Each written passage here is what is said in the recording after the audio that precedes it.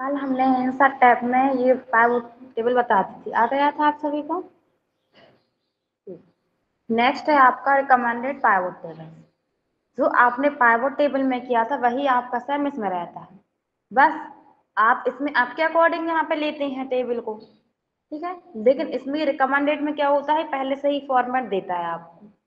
जैसे अपन यहाँ पे पहले डाटा ले लेते हैं। यहाँ पे अपन लिखी डेट प्रोडक्ट नेम अमाउंट और यहाँ पे इतना जाने देते हैं फिर यहाँ पे। आप डेट लिख लेंगे, जो भी आपकी डेट रहेगी।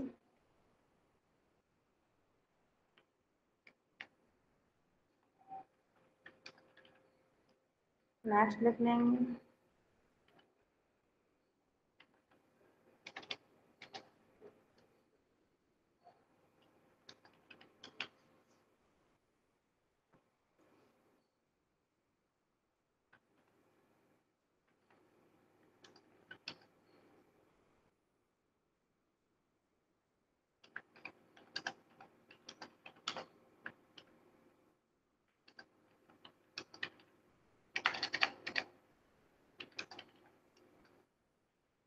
यहाँ पे अपन कुछ डेट लिख लेते हैं।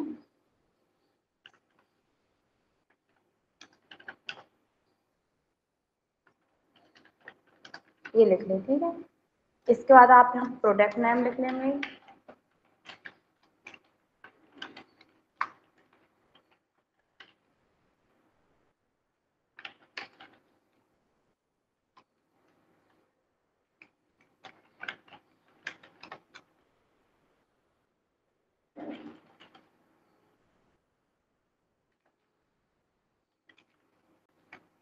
ठीक है? ये अपन ने प्रोडक्ट नेम लिख लिया। अब आपको यहाँ पे इनका अमाउंट लिखना है।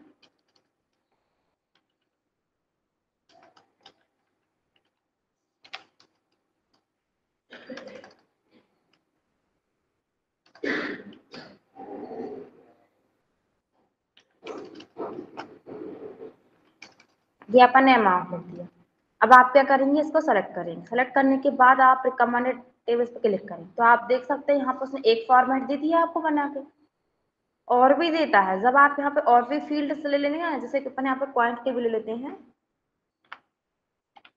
और यहाँ पे आपने इनको पाँच लिया है, इनको। इस टाइप से आपने यहाँ पे क्वांटिटी ले ली। अब आप इसको सेलेक्ट करेंगे। सेलेक्ट करने के बाद आप इस पर क्लिक करेंगे। देखिए, और भी फॉर्मेट आ गया आपके। पहले सिर्फ़ ऑनली एक ही दे रहा था वो आपको।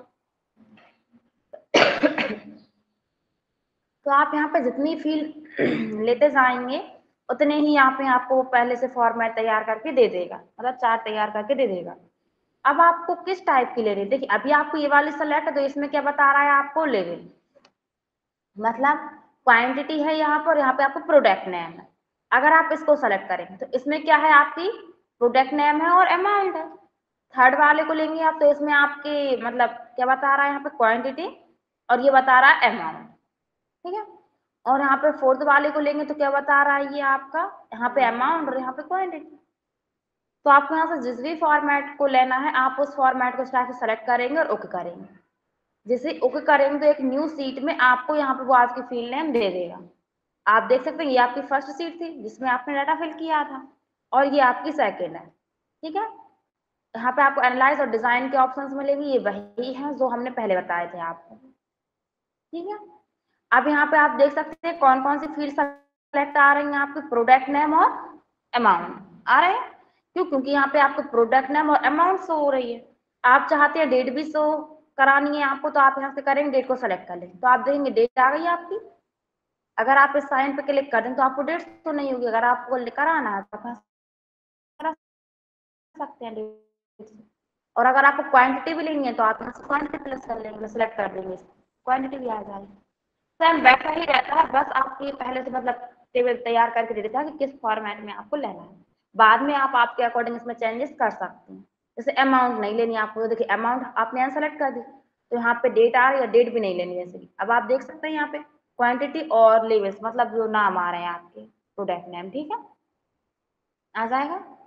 फिर यही वो रिफ्रेश के ऑप्शंस मिलेंगे आपको यहाँ पे। और यहाँ पे चेंज करने के लिए मतलब कुछ और लेना हो आप कुछ और ऐड किया हो आपने। और इंसर्ट लाइन में अपन वो लाइन इंसर्ट करते हैं और स्लाइसर में अपन वो अलग अलग कैलेंडर टाइप के लेते हैं, ठीक है?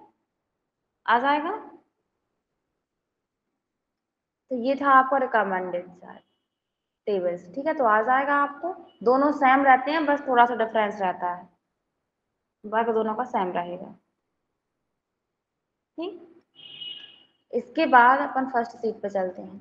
नेक्स्ट है आपका टेबल ये अपन ने होम टैब में यहाँ पर भी किया था। क्या था? यही ऑप्शन इंसर्ट में आपको यहाँ पर भी दिया गया। आप इस पर क्लिक करेंगे। इस पर क्लिक करेंगे तो आप देखेंगे वो एरिया सेलेक्ट करके दे रहा है आपको, इतने एरिया में आप इसका यूज़ कर रहा है। आप इसे ओके करेंगे। ओके करेंगे आप तो आप यहाँ पे देख सकते हैं, इस टाइप से आपके यहाँ पे टेबल आ जाएगी कलर आप इसको सेलेक्ट करेंगे। सेलेक्ट करने के बाद यहाँ से ये डिज़ाइन आ रहा है।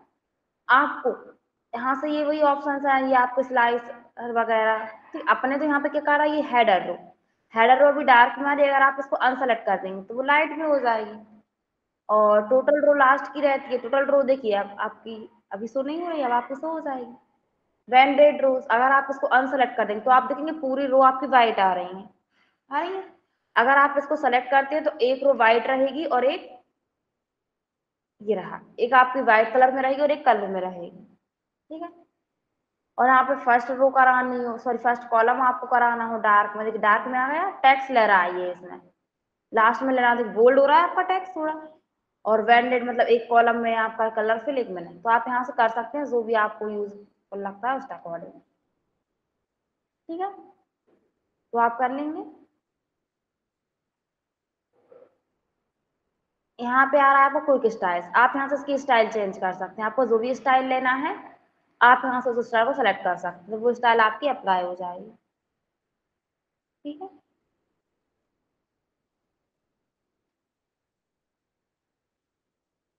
ठीक है तो अपन इसे क्या करते हैं यहाँ पे? सेलेक्ट कर देते हैं। फिर नेक्स्ट ऑप्शन आपको इसमें मिलता है पिक्चर्स और ऑनलाइन पिक्चर्स ये आपके पिक्चर ऑप्शन से लेके स्क्रीनशॉट तक, ये वही ऑप्शन है जो आपने एम एस वर्ड में किए हुए थे। याद है? किस किस को याद है?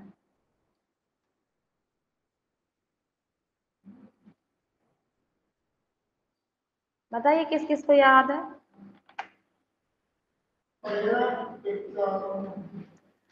चलिए ठीक है, हम थोड़ा सा लेना बता देते हैं, बाकी ऑप्शंस आप लोग करके देखने नहीं आएँगे तो हम नेक्स्ट क्लास में बता देंगे, ठीक है?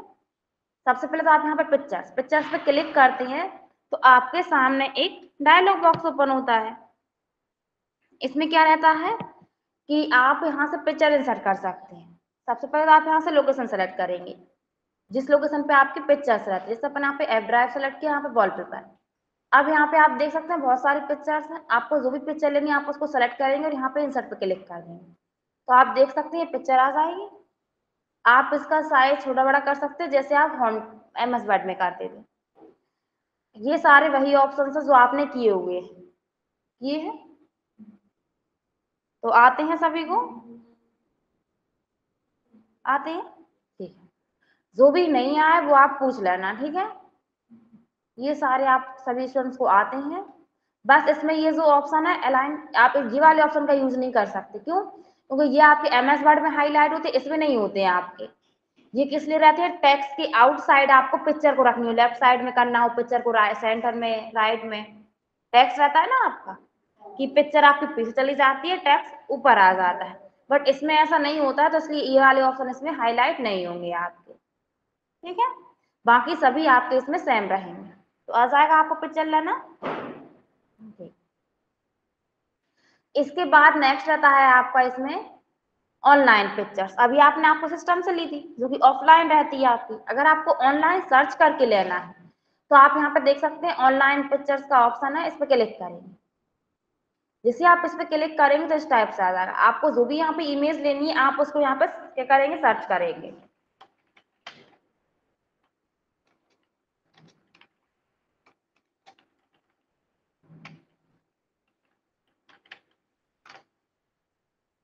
अपन यहाँ पे सर्च करते हैं। इस ऑप्शन को अनसेलेक्ट करते हैं। अब आपको यहाँ से जो भी इमेज लेनी है, वो आप यहाँ पे सेलेक्ट कर लेंगे, ठीक है?